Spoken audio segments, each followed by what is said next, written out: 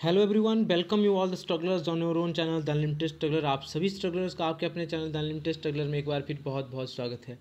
मैं संतोष कुमार सांख्यान, आज आप लोगों के साथ डिस्कस करूँगा पीपल डेवलपमेंट एंड एनवायरनमेंट की सीरीज़ में impacts of anthropogenic activities on environment anthropogenic activities वो एक्टिविटीज़ होती हैं जो हम डेली लाइफ में करते हैं।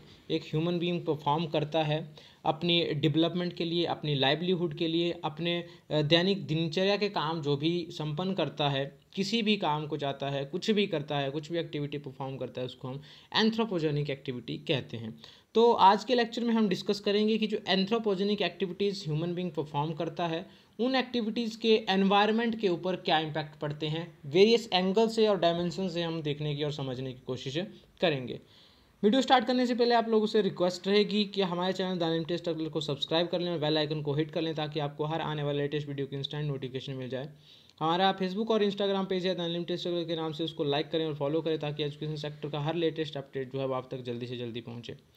Hand written notes paper one और पेपर टू मैनेजमेंट के सॉफ्ट फॉर्म में और हार्ड फॉर्म में दोनों तरह से अवेलेबल है। अगर आपको चाहिए तो आप दिए गए नंबर पर कॉल कर सकते हैं व्हाट्सअप कर सकते हैं, बिल्कुल मिनिमम प्राइसेस पे आपको नोट्स दिए जाएँगे।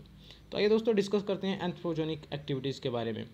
देखिए जनरली दो एक्टिविटीज़ होती हैं। एक तो वो एक्टिविटीज़ होती हैं जो नेचुरल होती हैं और दूसरी होती हैं man made activities natural activities हर वो एक्टिविटी जो नेचुरल कोर्स ऑफ़ एक्शन होता है, जो नेचर खुद परफॉर्म करती है। जैसे भूकंप आ रहा है, ठीक है, बादल गरज रहे हैं और उससे बारिश हो रही है, ये सारा जो है वो नेचुरल फिनोमिना है। इसमें हम कुछ नहीं इंटरफेरेंस कर सकते। लेकिन इसके अलावा कुछ एक एक्टिविटीज़ ऐसी होती है जो ह्यूमन बींग खुद परफॉर्म करता है। जिनको हम मैन मेड एक्टिविटीज़ कहते हैं। तो एक तरफ़ नेचुरल एक्टिविटीज़ जो नेचर खुद परफॉर्म करती है, दूसरी मैन मेड एक्टिविटीज़ जो ह्यूमन बींग परफॉर्म करता है। तो हर वो man man made man made activity जो ह्यूमन बींग परफॉर्म करता है, किस लिए? अपनी लाइफ को इम्प्रूव करने के लिए, अपनी लिविंग कंडीशंस को इम्प्रूव करने के लिए स्टैंडर्ड ऑफ़ लिविंग को लिविंग को बेहतर बनाने के लिए और जो भी ह्यूमन एफर्ट इम्प्लॉय करता है ह्यूमन बीइंग उन एक्टिविटीज़ को, उन एफर्ट्स को हम मैन मेड एक्टिविटीज़ कहते हैं और उन्हीं को हम जो है वो एंथ्रोपोजेनिक एक्टिविटीज़ भी कहते हैं। ये जो ह्यूमन बींग एक्टिविटीज़ होती हैं या एंथ्रोपोजेनिक एक्टिविटीज़ होती है, इनका पर्पज सिर्फ़ और सिर्फ़ ह्यूमन बींग की जो लाइफ है, उसको स्मूथ करना होता है, उसको और ज़्यादा बेहतर बनाना होता है। लेकिन इसके बहुत सारे साइड इफ़ेक्ट भी हो सकते हैं। ह्यूमन बींग की जो एक्टिविटीज़ हैं ह्यूमन बींग सदा ही अपने पर्पज़ को जो है वो तवज्जो ज़्यादा देता है। अपने गोल को जो है ज़्यादा फोकस उसके ऊपर करता है, उसको बेस्ट बोलता है। लेकिन उससे जो एनवायरनमेंट के ऊपर नेगेटिव इम्पैक्ट पड़ते हैं, उसकी तरफ़ ध्यान नहीं देता है। ह्यूमन बींग सोचता है कि मेरा पर्पज रिजॉल्व होना चाहिए एनवायरनमेंट का डिप्लेशन हो आई डोंट केयर तो इस तरह से बहुत सारे ऐसे इम्पैक्ट्स होते हैं एनवायरनमेंट के ऊपर, जो ह्यूमन बींग की एक्टिविटीज़ या एंथ्रोपोजेनिक एक्टिविटीज़ की वजह से होते हैं। अब हम कुछ एक ह्यूमन बींग की जो एक्टिविटीज़ है एंथ्रोपोजेनिक एक्टिविटी उनको पढ़ेंगे और उनसे क्या क्या जो है इम्पैक्ट होंगे, वो देखेंगे। सबसे पहले बात करेंगे जो ट्रेडिशनल एग्रीकल्चर होती है, उसके क्या क्या नेगेटिव इम्पैक्ट होते हैं। ट्रेडिशनल एग्रीकल्चर होती है जो हमारे बाप दादा जो हैं आज तक करते आए हैं उसमें साइंटिफिक मेथडोलॉजी यूज़ नहीं की जाती है। वो जो पहले जिस तरह से खेती की जाती थी, उसी तरह से आज भी करते हैं। तो उसके कुछ एक नेगेटिव इम्पैक्ट होते हैं एनवायरनमेंट के ऊपर। जैसे सबसे बड़ा जो इम्पैक्ट है डिफॉरेस्ट्रेशन डिफॉरेस्ट्रेशन मतलब पेड़ काटे जाते हैं या पेड़ कम हो जाते हैं। क्यों? ताकि लोग खेत बना सकें, खेतों में जो है एग्रीकल्चर कर सके। फिर सॉइल एरोजन एक और इसका नेगेटिव इम्पैक्ट है। मृदा अपर्दन जिसको कहते हैं, मिट्टी की वैल्यू ख़राब हो जाती है, मिट्टी की गुणवत्ता ख़त्म हो जाती है और भूमि अपर्दन जो है वो होता है। डिप्लेशन ऑफ़ न्यूट्रिएंट्स जैसे मैंने अभी बताया कि मिट्टी की गुणवत्ता ख़त्म हो जाती है। एक ही फ़सल अगर हम बार बार बार बार पैदा कर रहे हैं तो एक लिमिट तक पैदा होगी, उसके बाद जो है वो, उतनी अच्छी प्रोडक्शन नहीं हो पाएगी, क्योंकि उसके न्यूट्रिएंट्स जो हैं वो ख़त्म हो चुके होंगे। तो इस तरह से कुछ एक पॉजिटिव इम्पैक्ट भी होते हैं, कुछ एक नेगेटिव इम्पैक्ट भी होते हैं, जब हम एनवायरनमेंट के साथ छेड़छेड़ छेड़ छेड़छाड़ करते हैं। वो पॉजिटिव इम्पैक्ट जो है, वो हो सकता है कुछ देर के लिए हो, हमें फ़ायदा हो, लेकिन बहुत लंबे टाइम के लिए वो पॉजिटिव इम्पैक्ट नहीं होते हैं और हमको जो है एनवायरमेंट को जो है, वो नेगेटिव इम्पैक्ट जो है, वो फेस करना पड़ता है। इसके बाद फर्टिलाइज़र्स हम यूज़ करते हैं ठीक है? फर्टिलाइज़र फर्टिलाइज़र्स जो यूज़ करते हैं उसमें माइक्रो न्यूट्रिएंट्स होते हैं जो बैलेंस करते हैं आ, आ, क्या कहते हैं पोल्यूशन को या आ, मिट्टी की जो गुणवत्ता है उसको बैलेंस करते हैं ठीक है? तो उससे भी कई बार हमारी मिट्टी ख़राब हो जाती है। और मिट्टी में जो है जो हम फर्टिलाइज़र्स यूज़ करते हैं या जो हम चीज़ें यूज़ करते हैं उससे जो है मिट्टी का स्वभाव भी वैसा ही हो जाता है। और उससे भी बहुत सारी प्रॉब्लम्स हो हो सकती हैं। इसके बाद बात करेंगे हम हाउसिंग रिलेटेड एक्टिविटीज़ की, जो हाउसिंग जैसे घर बना रहे हैं, मकान बना रहे हैं, उसमें किस तरह से काम करने से क्या नेगेटिव इम्पैक्ट जो है वो हो सकते हैं। हालाँकि हाउसिंग एक्टिविटीज़ के इम्पैक्ट जो है वो मेज़र कर पाना बड़ा मुश्किल है, बिल्कुल स्लो प्रोसेस में होते हैं लेकिन होता ज़रूर है।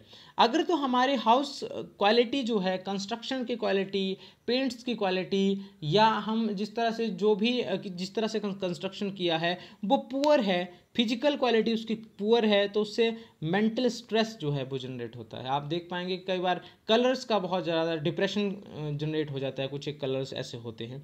अगर हम हाईटेक घर बनाएँ तो उससे जो है हमारी लाइफ तो स्मूथ हो जाएगी, लेकिन उससे एनवायरनमेंट के ऊपर जो है बहुत सारी प्रॉब्लम्स हो सकती हैं। हाई हाईटेक माने जैसे एसी हम घर में यूज़ कर रहे हैं फ्रिज यूज़ कर रहे हैं रेफ्रिजरेटर यूज़ करते हैं, ठीक है? उनसे क्या होगा? उनसे जो है, जो गैस जनरेट होगी, उस गैस से जो है वो हमारे एनवायरनमेंट के ऊपर इम्पैक्ट पड़ेगा। जैसे सी एफ़ सी कई बार जो है प्रोड्यूस होता है क्लोरोफ्लोरोकार्बन तो उससे एनवायरनमेंट के ऊपर इम्पैक्ट होता है। इसके अलावा जैसे हम प्लास्टिक का यूज़ करते हैं घरों में, ठीक है? तो उस प्लास्टिक से जो है, वो बहुत ज़्यादा इम्पैक्ट होता है। ग्रीन हाउस गैस बनती है, इसके अलावा कार्बन डाइऑक्साइड बनती है, ठीक है? अगर उनका हम जलाएँगे तो और इसके अलावा बहुत सारे ऐसी धीरे धीरे जो मतलब उसमें डिप्रेशन, डिप्लेशन होता है क्या कहते हैं, इनमें प्लास्टिक के इक्विपमेंट्स में, उसकी वजह से हम भी प्लास्टिक कंज्यूम करते रहते हैं और हमारे बॉडी में बहुत ज़्यादा जो है वो रोग लग जाते हैं।